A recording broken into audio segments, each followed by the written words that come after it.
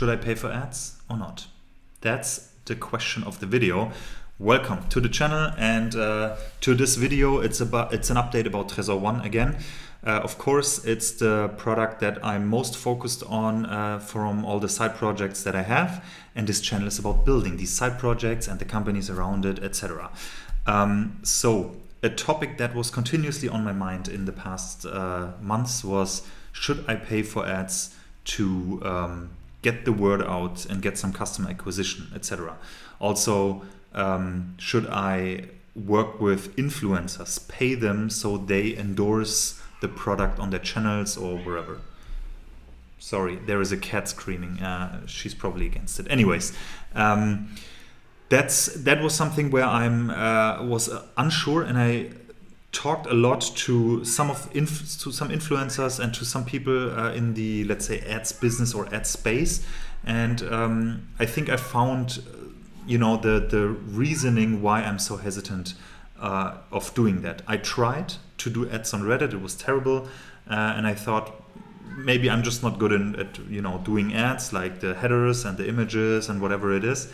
But um, there is actually a bit more to it. So now ugh, the cat is here and she wants to uh, be a part of it. So, um, what's what's the, what's my reason for what's my skepticism regarding ads? So in general, if if you are building a product and you are trying to achieve product market fit, you want to be sure that users use the product because they want to, and I'm always saying that I I'm I don't want to compromise on price. For example, I want to build a product that people like to use, that is useful to them. And if it's too expensive, then the product doesn't offer enough value. It's not the price that is too high. It's the product doesn't uh, add enough value then. And I have to work on the product, not on the price. So I don't want to like throw out a product for 99 cents and then have to struggle with paying my bills or whatever. Um, and the same kind of applies to ads. I don't want to uh, force people to use it, which I have the feeling with ads, it's kind of like that. If I pay an influencer to recommend the product, um, they probably would not have recommended without it, which means why not? The influencers in the finance space are probably using a tool to track their portfolio. And I'm pretty sure they will not use the tool that they are paid for. They will use the tool that they like the most, that, that is useful to them. So, am I able to build that product? I hope so. And if that product is not Tresor One, um, then I don't want to pay them to say other to say to other people that that it is. Uh, it's it makes them not uh, authentic and it also makes the pro- it, it's not a good look on the product and it doesn't help me finding out if the product is good enough. So what i rather do is uh, i i try to make the product as good as possible share with the community the users talk to them find out um, what's good what's not good and make it better uh, and then have naturally people adopting the product kind of an organic growth. And maybe this is a bit too naive, but I hope it will be shared by people out of pure excitement to use it because it's useful to them. This is what I want. And I think this is what happens until now. Of course, we don't have the explosive, explosive um, uh, what's called, exponential growth, but we have uh, good growth, steady growth, and I think it's um, I think people recommend it. It's not for everyone, of course, but for the people that that fit the the user base and the feature set and and the idea of what we are trying to do, um, they are using it and they are recommending it. And there are some people out there. Uh, like Lisa from Aktiengram, uh, she she recently shared it on on Instagram without any uh, involvement of me, and it was amazing. She got good, very good feedback from her user base. We have a few more users that um, that send us feedback that use it or not use it in the future, but we learn from it, which is amazing.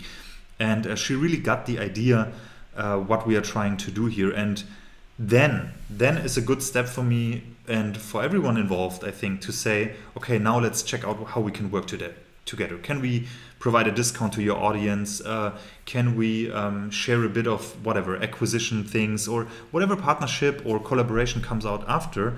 But for me personally, this is this is a, a so much more healthy way of dealing with this kind of stuff than just paying paying out money uh, to get traffic and and users because it's unhealthy in a way. Like I, I cannot infer from that if the product is useful enough. You can, of course, you can check conversions and throw as much users and traffic on there and see how much sticks. But this is very expensive. I rather work on a small scale first and have a loyal user base that I can serve well and they understand what we are doing and it's helpful to them and then grow from there.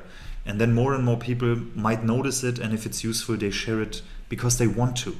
That is the idealistic scenario that I have in my head.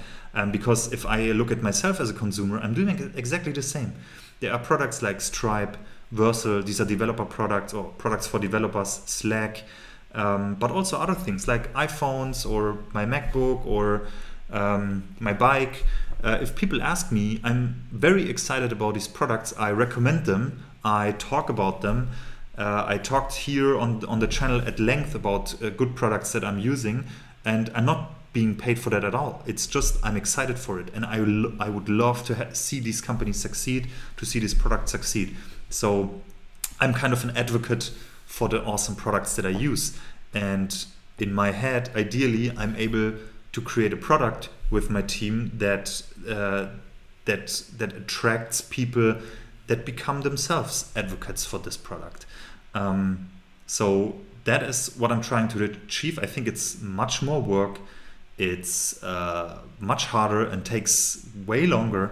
But in my in my opinion, it's it's way more um, it's healthier and uh, it creates just a strong base to to grow on and to to work for and you know if at some point we we need ads to make the product visible for people fine we can we can check that out too um, but currently it's it's uh, yeah I'm I'm I'm not a fan of it and uh, I probably won't do it.